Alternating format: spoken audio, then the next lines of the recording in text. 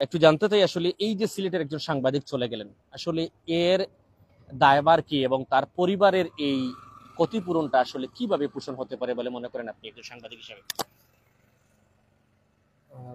প্রথমে মহান রাব্বুল আলমের কাছে যে আমাদের গণমাধ্যম কর্মী একজন যিনি পৃথিবী ছেড়ে চলে গেছেন তার আত্মার মাগফিরাত কামনা করছি।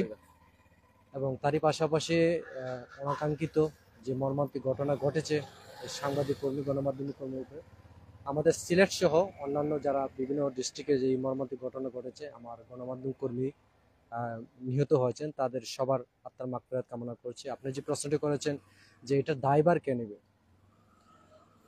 এই প্রশ্নটা কিন্তু আসলে জটিল।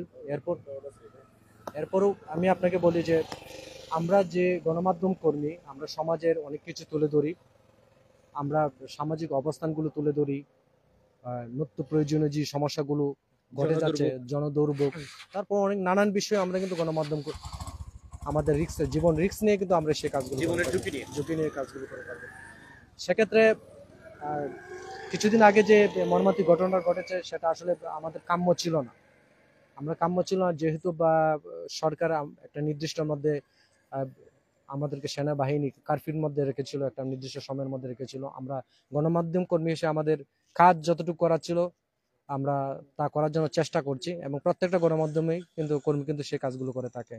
তো সেক্ষেত্রে বলব যে, যারা এখন এই মুহূর্তে গণমাধ্যম কর্মী যারা মাঠে কাজ করতেছেন, তারা অবশ্যই সতর্কতা অবলম্বন করবেন, যাতে কারও মায়ের কোল এভাবে খালি না হয় এবং গণমাধ্যম কর্মী যারা চ্যানেল পরিচালনা করেন, পত্রিকা পরিচালনা করেন, তার সম্পাদক যারা, সম্পাদক মন্ডলী যারা আছেন, অবশ্যই তার পরিবারে খোঁজখবর নেবেন। সেটা আমি ওনাদের প্রতি আশা করি এবং বিশেষ করে সরকারের প্রতি আমি দৃষ্টি জ্ঞাপন করতেছি যে আমরা গণমাধ্যম কর্মী যারা প্রতিদিন প্রতিনিহত এভাবে নানান বিভিন্ন জায়গায় বিভিন্নভাবে কিন্তু আমরা বিভিন্নভাবে মানসিক, শারীরিক এবং বিভিন্নভাবে টর্চার হচ্ছে। সে দিকটা যদি মাননীয় প্রধানমন্ত্রী আমাদের দিকে যদি সুনজর দেন, তাহলে আমরা আশা করি ইনশাল্লাহ আমাদের গণমাধ্যম কর্মী যারা আছে তাদের চিন্তা চেতনা তারা- কীভাবে সমাজের এবং দেশের জন্য কাজ করতে যায় স্বাধীনভাবে কাজ করতে পারবে। ধন্যবাদ।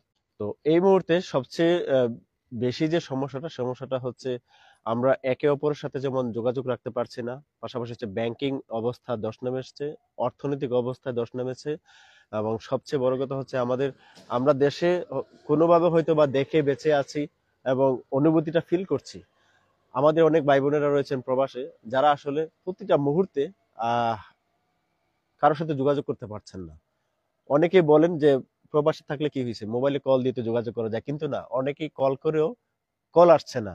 কল আসলে একজনে কমেন্ট করেছেন জ্যাক চৌধুরী, যে কল আসলে রেডিওর মতো শোনা যায়, তার অন্তরটা কিন্তু ব্রাস্ট হয়ে যাবে। বোমার মতো ব্রাস্ট হয়ে যাবে। তো আমরা জিন্দাবাজারে থেকে যদি জয়ন্তার কথা না শুনি, সমস্যা নেই। লন্ডন থেকে যখন সিলেটের কথা শুনতে না পাবে, তার ব্যথাটা আসলে আমরা সিলেট থেকে বুঝব না। আমাদের আগে প্রবাসে যেতে হবে। গিয়ে সেখানে গিয়ে প্রবাসীর ব্যথাটা অনুধাবন করতে হবে। একজন প্রবাসী যখন বিমানে ওঠেন, অনেকেই কিন্তু সেই চিত্রটা দেখেন।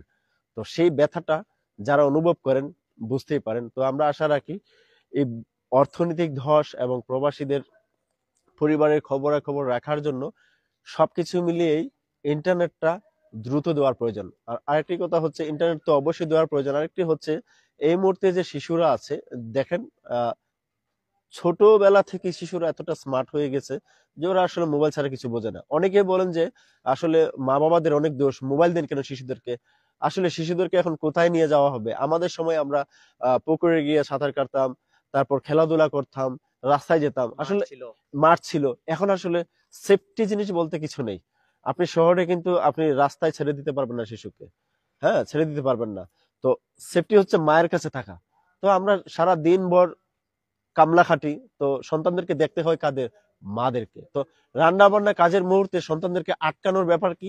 কার্টুন কার্টুন ইসলামী সংগীত, গজল, যে যা পারে একটা কিছু দিয়ে বুঝিয়ে সন্তানকে রাখা হয় তখন আমার আমার এক বছর আট মাসের শিশু, সে বলে যে, বাবা কার্টুন বাবা কার্টুন সে আসলে কিছু বোঝে না। খানি দিল বলে কার্টুন না দিল বলে কার্টুন। তো তার আসলে হ্যাপিনেসটা কি? কার্টুন। তো সে কিন্তু আসলে মানসিক ভাবে হ্যাম্পারিং হচ্ছে। তো এই কষ্টটা আসলে বুঝতে হবে যারা আসলে এই মুহূর্তে রাষ্ট্রকার্যে আছেন বুঝতে হবে। এবং এই দায়টা কার? এই যে এত বড় ঘটনা ঘটলো আমাদের দেশে মারা গেলেন? আমি এখন আমি এখন যে কথাটা মায়ের সন্তান বুক খালি হলো। আসলে কোটি মানুষের স্পন্দন কোটি মানুষের হৃদয়ে কান্না এটা আসলে আপনারা যদি বিশ ষোলো কোটি আঠারো কোটি না আমি যদি বলি বিশ বাইশ কোটি মানুষের কান্না শুনতে পেত কেউ তাহলে কখনো ছাত্রদের বুকে কেউ গুলি ছুটতো না। ওরা তো বাংলারই বুকে জন্মগ্রহণ করেছে। এরা কি পাকিস্তানের জমিতে জন্মগ্রহণ করেছিল নাকি ভারতের জমিতে জন্মগ্রহণ করেছিল? এটা হচ্ছে এটা হচ্ছে বিশাল একটি প্রশ্ন। এই প্রশ্নটা আসলে কেউ করে না। আসলে বাংলাদেশটা কি? লাল সবুজের পতাকা। আমাদের একটা মানচিত্র আছে, আমাদের একটা লাল সবুজের পতাকা আছে। আমি যদি রাষ্ট্রের কথা বলি, আমি যদি বাংলাদেশের কথা বলি, ছাত্রদের কথা বাদ দিয়ে বাংলাদেশের কথা বলাটা বিরাট বড় অন্যায়। তাই মা বাবারা যারা সন্তান হারিয়েছেন, তাদের কষ্টটা এই যে সাধারণ মানুষেরা কিন্তু অনুভব করে। এই যে দেখেন, অনেক সন্তান আছে যেমন আমার এক ছোট ভাই, তিন নম্বর ভাই উনিশশো আটানব্বই সালের তিন ফেব্রুয়ারি জন্ম নিয়ে বিশ ফেব্রুয়ারি মৃত্যুবরণ করে, পৃথিবীর মায়ের ছেড়ে চলে যায়। মাত্র সতেরো দিন বেঁচে ছিল পৃথিবীতে। তো সেই ভাইটা যদি আমার বেঁচে থাকতো, আজকে আমার তিন নম্বর ভাই মানে আমার তিন নম্বর একটা শক্তি থাকতো। আমার একটা জায়গা থাকতো, আস্থার জায়গা থাকতো। তো আমার একটা ভাই যখন বড় হবে, সন্তানের যখন বড় হবে, সন্তানের প্রতি মা বাবার একটি আশা থাকবে। তাকে নিয়ে অনেক স্বপ্ন সাধনা থাকবে। এই যে দেখেন, আমরা এখন দিন রাত কামলা খেটে যাই, কাজ করে যাই কাদের জন্য, সন্তানের জন্য।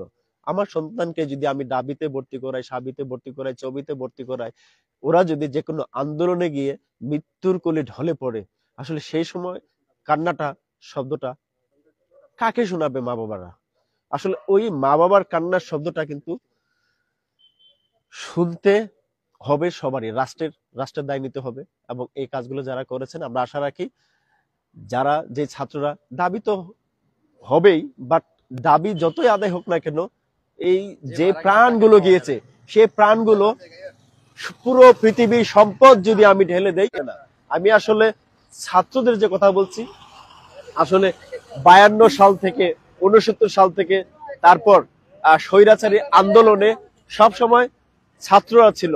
তো এই আন্দোলনেও যখন ছাত্ররা ছিল, সবচেয়ে বড় ভুল, সবচেয়ে বড় ভুল আমাদের যে মূল সাংবাদিকরা ছিলেন, তাদের সবচেয়ে বড় বিরাট ভুল ছিল। প্রধানমন্ত্রী শেখ হাসিনাকে অন্তত অন্তত প্রধানমন্ত্রী শেখ হাসিনা নিজে একজন মা, মায়ের মনের ভিতরে মায়ের মায়া দরদ যদি ঢুকিয়ে দিতে পারতো সেই সব বড় বড় সাংবাদিকেরা, খুব একটা কিন্তু সহংসনীয় পর্যায়ে যেত। এখন কিন্তু সবাই বলছে, ছাত্রদের পক্ষে আমরা সবাই আছি। ছাত্রদের পক্ষে আমরা সবাই আছি, দেশবাসী ছাত্রদের পক্ষে থাকুন। কিন্তু সংঘাতের পূর্বে, রাজাকার বলার পূর্বে কেন এই যে ডক্টর জাফর ইকবাল, উনি যে বললেন যে দাবিতে গেলেই মনে হবে ওরা তো রাজাকার, কীভাবে আপনার মনে হবে রাজাকার? ওরা কি একাত্তর সালে মা বোনদেরকে দর্শন করেছিল, নাকি কোনো বাঙালির বুকে কাঁধ রেখে অস্ত্র ধরেছিল? ওরা কীভাবে রাজাকার হবে? Education is the backbone of nation শিক্ষা জাতির মেরুদণ্ড। অনেক ধন্যবাদ জানাই। অনেক সময় আমাদের সাথে ছিলেন। আসলে আমি যে কথাগুলি বলি দর মার কাট এসব ছাড়িয়েও যে কথাগুলো আছে, সেই কথাগুলি, হৃদয়ের কথা, অন্তরের কথা, যেগুলো রিলেরই কথা, এই কথাগুলি কেউ বলবে না কেউ বুঝবেও না। যারা বুঝবে, তারাই আমাদের দেশপ্রেমিক, তারাই আমাদের সাধারণ মানুষ, তারাই হচ্ছে বাংলাদেশ। ধন্যবাদ সবাইকে। বাংলাদেশের জন্য সবাই দোয়া করবেন, আমাদের জন্য দোয়া করবেন। আল্লাহ হাফেজ।